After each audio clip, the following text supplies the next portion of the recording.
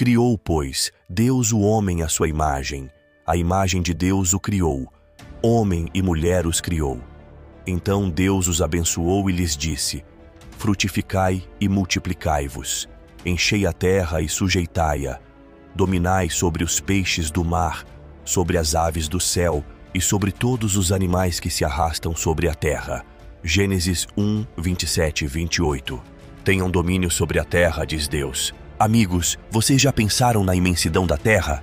Suponhamos que um patrão solicite ao seu servo para administrar duas casas. Ele faz a designação baseado na habilidade do servo para cuidar delas. Servo algum é capaz de administrar todas as casas localizadas numa rua, pois não pode fazer além da sua habilidade.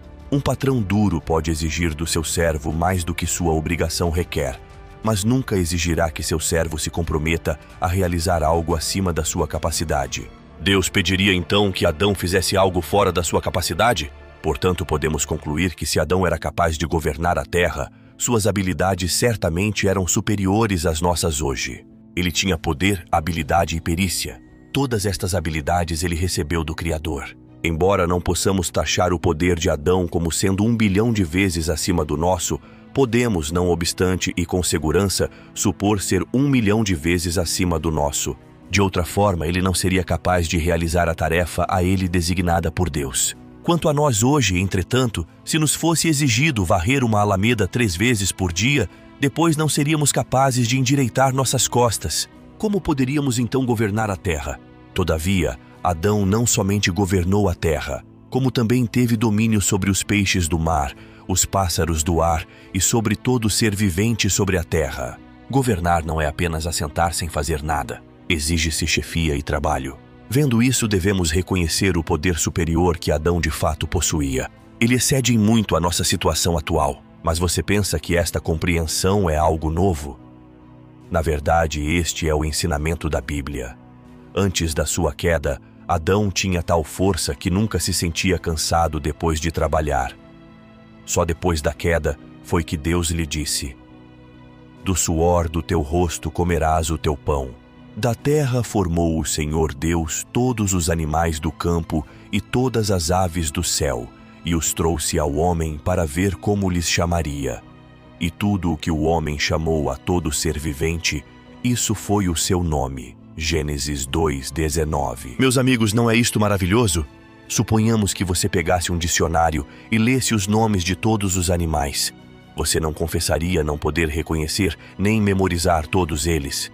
Entretanto, Adão deu nomes a todos os pássaros e animais. Aqueles dentre nós que não são tão brilhantes, sem dúvida abandonariam rapidamente o estudo da zoologia logo que vissem sua incapacidade para memorizar todos os detalhes. Mas Adão não foi alguém que memorizou estes nomes zoológicos, foi ele quem deu nomes a todos eles. Por isso sabemos quão rico e perfeito era o poder racional de Adão. Tomou, pois, o Senhor Deus o homem e o pôs no jardim do Éden para lavrá-lo e guardar. Gênesis 2:15. Examinando como Adão governava a terra, vamos meditar um pouco nas coisas que Deus lhe encarregou de fazer. Deus ordenou que ele lavrasse o jardim do Éden. Isto precisava ser feito sistematicamente. De que tamanho era o jardim? Gênesis 2, 10, 14 menciona o nome de quatro rios, a saber, Pison, Gion, Tigre e Eufrates. Qual foi a isca que o inimigo usou para seduzir Eva? O que o inimigo prometeu a ela foi isto: No dia em que comerdes desse fruto, vossos olhos se abrirão e sereis como Deus, conhecendo o bem e o mal. Gênesis 3, 5. Ser igual a Deus foi a promessa do inimigo. Ele disse a Eva que, a despeito do poder que ela já possuía, ainda havia entre ela e Deus um grande abismo. Mas se comesse desse fruto, ela teria a autoridade, sabedoria e poder de Deus. E naquele dia Eva foi tentada e caiu. Investigando desse modo, não estamos de modo algum sendo desordenadamente curiosos. Só desejamos conhecer o que Deus deu a Adão. E Deus disse: Façamos o homem à nossa imagem, conforme a nossa semelhança. Gênesis 1:26. As palavras imagem e semelhança podem parecer iguais no significado e daí repetitivas. Mas no hebraico a palavra imagem não indica semelhança física, antes denota semelhança moral ou espiritual. Alguém expressou assim: transformado na semelhança, isto é, ser conformado a uma semelhança. O propósito de Deus ao criar o homem é para que este seja transformado segundo sua imagem. Deus queria que Adão fosse como ele. O diabo disse: Sereis como Deus. Mas a intenção original de Deus era que Adão fosse transformado para se tornar como ele.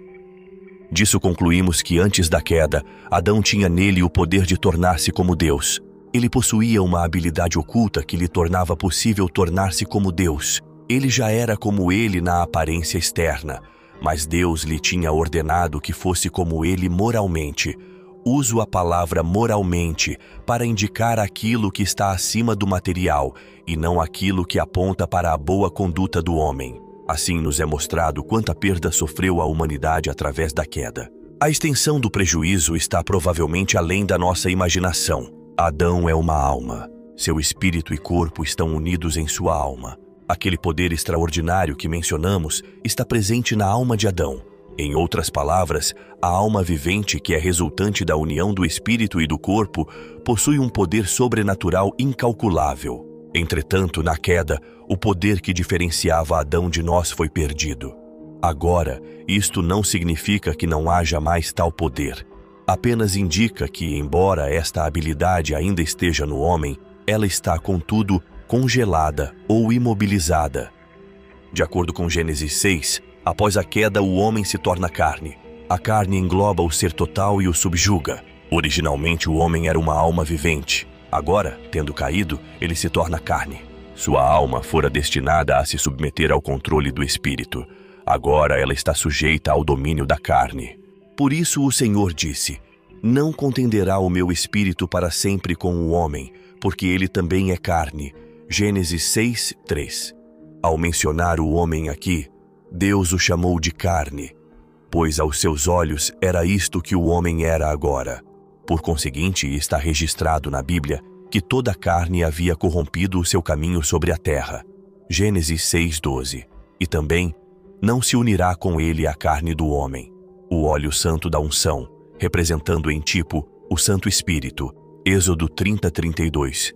E mais: Pelas obras da lei não será justificada nenhuma carne em sua presença.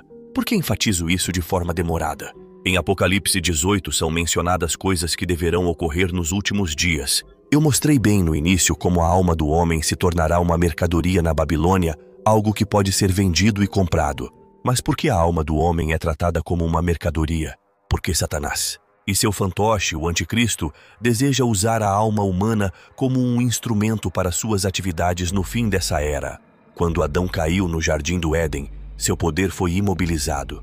Ele não perdeu esse poder totalmente, ele estava apenas enterrado dentro dele. Geração sucedeu geração, e o resultado foi que esta habilidade inicial de Adão tornou-se uma força latente em seus descendentes. Veio a ser um tipo de poder oculto, não está perdido para o homem, mas apenas confinado pela carne. Hoje, em toda e cada pessoa que vive na terra, repousa este poder adâmico, embora esteja confinado nela e não seja capaz de se expressar livremente. Entretanto, tal poder está na alma de todo homem, assim como estava na alma de Adão no princípio. Visto que a alma de hoje está sob o cerco da carne, este poder está do mesmo modo confinado pela carne. A obra do diabo hoje em dia é despertar a alma do homem e liberar este poder latente em seu interior, como uma falsificação do poder espiritual. Menciono estas coisas porque precisamos ser advertidos com respeito ao relacionamento especial entre a alma do homem e Satanás nos últimos dias. Já vimos como Adão possuía a habilidade especial e sobrenatural Todavia, o que ele tinha realmente não era de todo especial ou sobrenatural, ainda que assim nos pareça hoje. Adão, antes da queda, podia exercitar com facilidade, de modo completo e natural, esta habilidade, visto que ela estava contida em sua alma.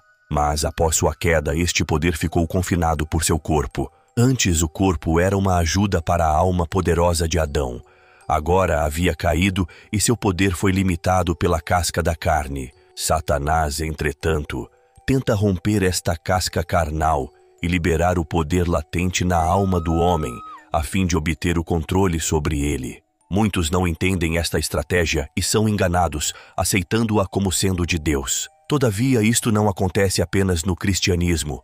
Os babilônios, os árabes, os budistas, os taoístas e os hindus, todos tentam, por seus próprios modos, liberar o poder que Adão legou à nossa alma. Em qualquer religião, sejam quais forem os meios ou modos de instrução, jaz um princípio comum por trás de todas as aparentes diferenças. Este princípio comum visa subjugar a carne exterior com a finalidade de libertar o poder da alma de todos os tipos de escravidão para uma expressão mais livre. Algumas lições de instrução dadas nessas religiões visam destruir a obstrução do corpo, outras a união do corpo e da alma e outras mais o fortalecimento da alma por meio de treinamento, capacitando-a assim a vencer o corpo. Sejam quais forem os meios, o princípio por trás de todos eles é o mesmo. É importante que saibamos isso, caso contrário, seremos enganados. Eu não sei como as pessoas são informadas a respeito desse maravilhoso poder latente na alma do homem, cuja liberação, atualmente limitada pela carne, resultará na demonstração de poder miraculoso, alcançando até mesmo a posição de um mágico ou Buda. Provavelmente elas são informadas pelo diabo, o espírito maligno. Suas explicações podem variar, mas o princípio básico é o mesmo, a saber, o uso de meios especiais para liberar o poder da alma. E isso é usado em todas as religiões para enganar a muitos. Esteja atento aos espíritos enganadores.